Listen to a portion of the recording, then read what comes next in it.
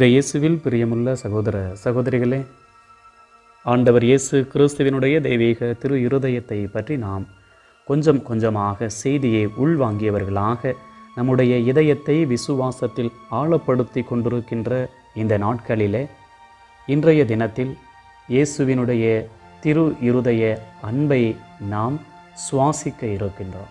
இயேசுவினுடைய திரு இருதய அன்பை நாம் புரிந்து கொள்ள இருக்கின்றோம். இயேசுவினுடைய திரு இருதயம் என்றாலே இரண்டு முக்கிய அமைப்புகளை நமக்கு எடுத்து இயம்புகின்றது. ஒன்று இறை இயேசு கிறிஸ்துவின் இதயத்திலிருந்து வருகின்ற அன்பு மற்றொன்று இரக்கம். இந்த இரக்கத்தை முன்பதிவிலே நாம் கேட்டோம். இன்றைய தினத்திலே இறைவனின் இதயத்திலிருந்து வழிந்தோடுகின்ற அந்த இதய அன்பை நாம் எப்படி அறிந்து கொள்வது? அத்தகைய இதய அன்பை என் வாழ்வில் எப்படி சுவைப்பது? என்பதை விவிலிய அடிப்படையிலே நாம் அறிந்து கொண்டோமே என்றால் மிக சால சிறந்ததாக இருக்கும். தாயாம் திரு அவைக்கு இரண்டு முக்கிய குடைகள் இருக்கின்றது. ஒன்று மரபு இன்னொன்று திருவிவிலியம்.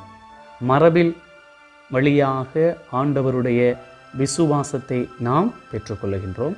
அதேபோன்று இறை வார்த்தையின் வடிவிலே விவிலியத்தின் அடிப்படையில் நாம் விசுவாசத்தை பெற்றுக்கொள்ளுகின்றோம் இது இரண்டும் தாயாம் திரு அவைக்கு கிடைத்த பெரிய பொக்கிஷம் கூட என்று சொல்லலாம். இன்றைய தினத்திலே திரு விவிலியத்தின் அடிப்படையில் அந்த ஒளியின் அடிப்படையில் வார்த்தையாம் இறைவன் ஒளியின் அடிப்படையில் நாம் இத்தகைய இதய அன்பை புரிந்து கொள்வதற்காக தியானிப்பதற்காக இருக்கின்றோம். ஒன்று யோவான் நான்காவது அதிகாரத்தில் ஏழாவது வசனத்தை பார்த்தோமே என்றால் இந்த அன்பு என்பது கடவுளிடம் இருந்து மட்டுமே வருகின்றது என்பதை நாம் தெல்ல தெளிவாக அறிந்து கொள்ள முடியும். அதனால்தான் இந்த வார்த்தை தெளிவாக கூறுகின்றது. அன்பு கடவுளிடமிருந்து வருகிறது. அன்பு செலுத்தும் அனைவரும் கடவுளிடமிருந்து பிறந்தவர்களாக அன்பில்லாதோர் கடவுளை அறிந்து கொள்ள இயலாது என்பதை நினைவுறுத்தி இறுதியிலே நாசுக்காக கடவுள் அன்பாய் இருக்கின்றார் என்பதை குறித்து காட்டுகின்றது. ஆம் அன்பிற்குரியவர்களே நான் என்னுடைய இருதயத்தில் அன்பு இருக்கின்றது என்றால் என்னுடைய வாழ்விலே அன்பு இருக்கின்றது என்றால் அத்தகைய அன்பு நாம் இறைவனிடமிருந்து பெற்றுக்கொண்ட அன்பாக மட்டுமே இருக்க முடியும். அதைத்தான் ஒன்று யோவான் நான்காவது அதிகாரத்திலே இருபதாவது வசனத்தை நாம் படித்தோமே என்றால் கடவுளை அன்பு செய்வதாக சொல்லிக்கொண்டு சகோதர சகோதரிகளை வெறுப்போர் பொய்யன் என்று குறித்து காட்டப்படுகின்றது. ஆம் அன்பிற்குரியவர்களே கடவுளை அன்பு செய்வதாக சொல்லிக்கொண்டு நம்முடைய உறவினர்களை நம்முடைய சகோதர சகோதரிகளை சக உதரங்களை நாம் புறம் தள்ளுகின்றோமே என்றால் பெறுகின்ற அன்பை முறையாக பகிர்ந்து கொள்ள இயலவில்லை என்பதை சுட்டிக்காட்டுகின்றது. அதனால்தான் நம்முடைய அன்பு எப்படிப்பட்ட அன்பு என்பதை நாம் சற்று சிந்திக்க அழைக்கப்பட்டிருக்கின்றோம். நாம் ஒரு வேளைகளில் நம்முடைய குடும்ப உறவிலே குடும்ப அன்பை கொச்சைப்படுத்துகின்றோம். சில வேளைகளில் தவறுதலாக புரிந்து கொள்ளுகின்றோம். சில வேளைகளில் அதுவே சிறந்த அன்பும் என்றும் நாம் முத்திரை வதைத்து விடுகின்றோம். ஆம் அன்பிற்குரியவர்களே கணவன் மனைவி மீது கொள்ளுகின்ற அன்பு ஒரு முன் சுவை மட்டுமே. மனைவி கணவன் மீது கொள்ளுகின்ற அன்பு ஒரு முன் சுவை மட்டுமே. பெற்றோர்கள் பிள்ளைகள் பால் கொள்ளுகின்ற அன்பு ஒரு முன் சுவை மட்டுமே. அதேபோன்று பிள்ளைகள் பெற்றோர்கள் பால் கொள்கின்ற அன்பு ஒரு முன் சுவை மட்டுமே.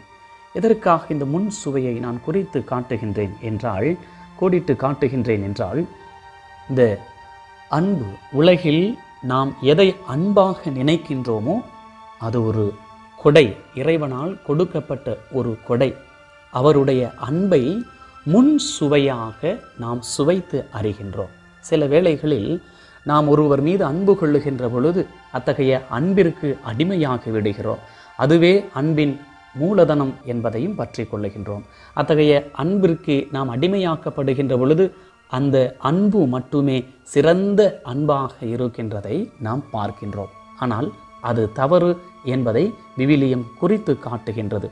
ஒரு சில விவிலிய அடிப்படையிலே கிறிஸ்துவின் அன்பை நாம் எவ்வாறு புரிந்து கொள்வது என்பதை நாம் பார்த்து கொண்டு வருகின்றோம். அதே போன்றுதான் புனித அந்தோணியாருடைய வாழ்க்கையிலே ஒரு சிறந்த நிகழ்வையும் சுட்டிக்காட்ட ஆசைப்படுகிறேன்.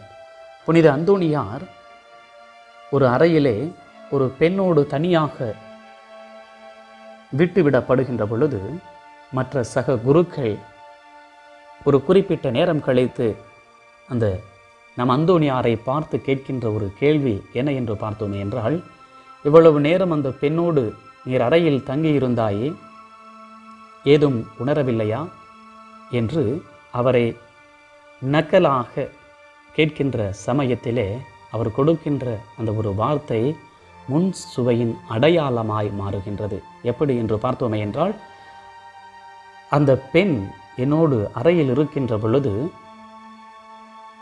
அந்த பெண் ஒரு அழகு என்று நீங்கள் நிர்ணயித்து கொண்டால் அந்த அழகை படைத்தவர் பன்மடங்கு அழகாயிருப்பார் என்பதை குறித்து காட்டுகின்றார்.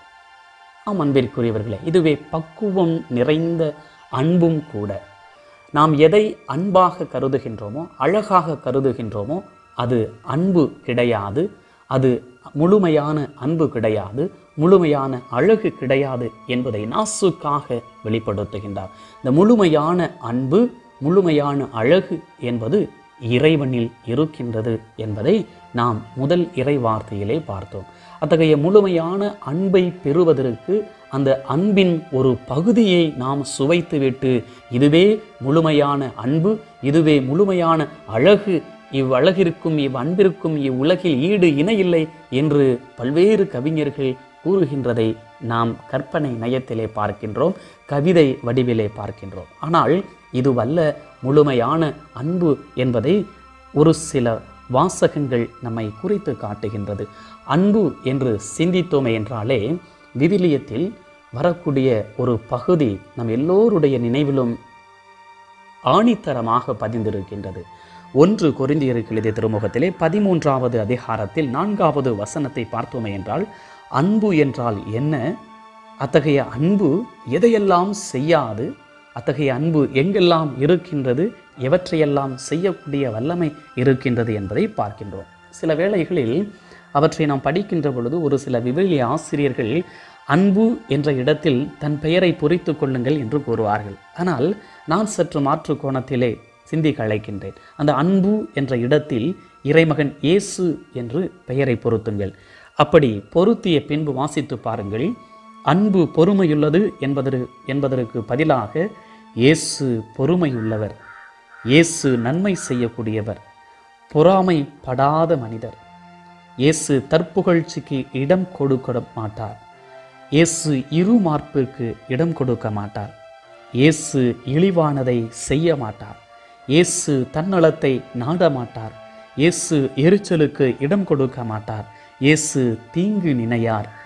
இயேசு தீவினையில் மகிழ்வுறாது மாறாக இயேசு உண்மை அன்பில் மகிழ்வுறுவார் என்று நாம் சற்று படித்தோமை என்றால் அன்பின் ஆழத்தை கிறிஸ்து இயேசுவில் இருக்கின்ற அத்தகைய அன்பு நான் எதற்காக பெயரை அன்பிற்கு பதிலாக இயேசுவை பெயர் பதிக்க சொன்னேன் என்றால் இயேசு கிறிஸ்துவிடம் இருந்தே அன்பு வருகின்றது என்பதை ஒன்று யோவா நான்காவது அதிகாரத்தில் ஏழாவது வசனத்திலே படிக்கின்றோம். அன்பு கடவுளிடமிருந்து வருகின்றது என்று.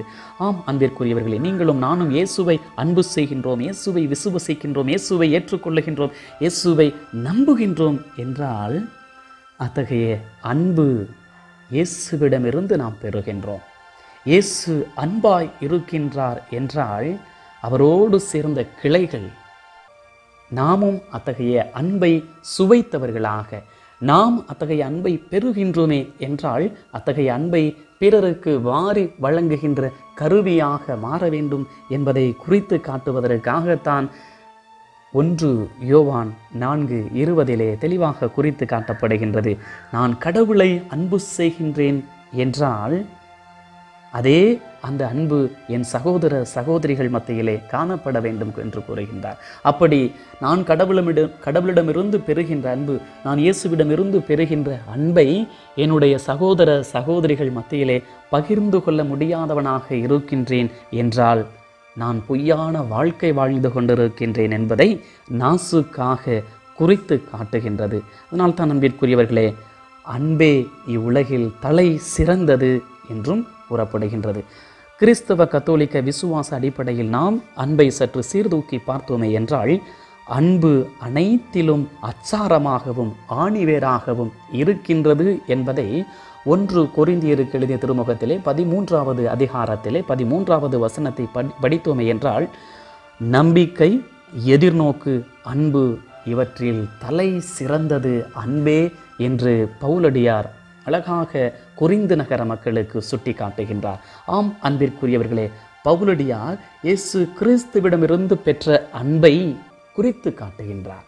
அத்தகைய அன்பை தான் பெற்ற அனுபவத்தை தான் பெற்ற அன்பை பெருக வையகம் என்று தன் அன்பை இறைவனிடமிருந்து பெற்ற தன் அன்பை மக்களுக்கு வெளிப்படுத்துகின்ற ஒரு வாசகமாக அமைவதுதான் ஒன்று கொரிந்தியருக்கு எழுதிய திருமுகம் பதிமூன்றாவது அதிகாரம். அன்பு என்றாலே நம்முடைய இதயத்திலும் சிந்தனையிலும் பிரதிபலிக்கின்ற ஒரு பகுதி விவிலிய பகுதி என்றால் அது ஒன்று கொரிந்தியர் பதிமூன்றாவது அதிகாரம் மட்டுமே.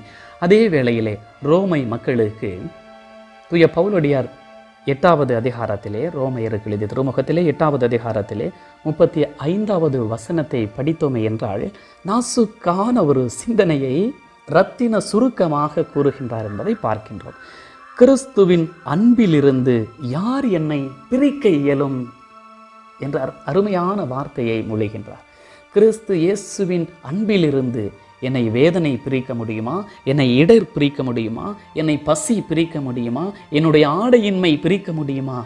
எதுவும் என்னை பிரித்து கொள்ள இயலாது என்பதை நாசுக்காக வெட்ட வெளிச்சமிட்டு காட்டுகின்றார் கிறிஸ்துவின் அன்பை. கிறிஸ்துவின் அன்பை நான் பெற்றிருக்கின்றேன் என்றால் என்னை கிறிஸ்துவிடமிருந்து பிரித்து கொள்ள இயலாது என்பதை அறிந்துதான் கலாத்தியருக்கு எழுதிய திருமுகத்திலே இரண்டாவது அதிகாரத்தில் இருபதாவது வசனத்தில் கூறுகின்றார் வாழ்வது நான் அல்ல என்னில் கிறிஸ்து இயேசு வாழ்கின்றார். வாழ்வது என்னுடைய அன்பு அல்ல மாறாக கிறிஸ்துவின் அன்பு என்னில் வாழ்கின்றது என்பதை நாசுக்காக வட்டமிட்டு காட்டுகின்றார் என்பதை நாம் பார்க்கின்றோம்.